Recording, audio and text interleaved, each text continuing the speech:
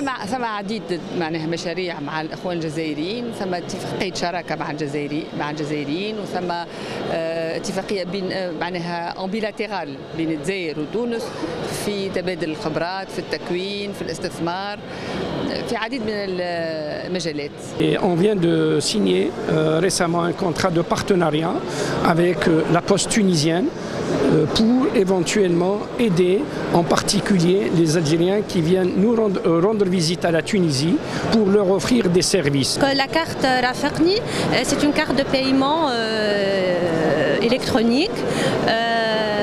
تعملت بالتعاون بين لا بوست تونيزيان et la société Largest Info. الحليف الجزائري a droit à différents euh, privilèges et euh, réductions مع les sociétés et les établissements privés et publics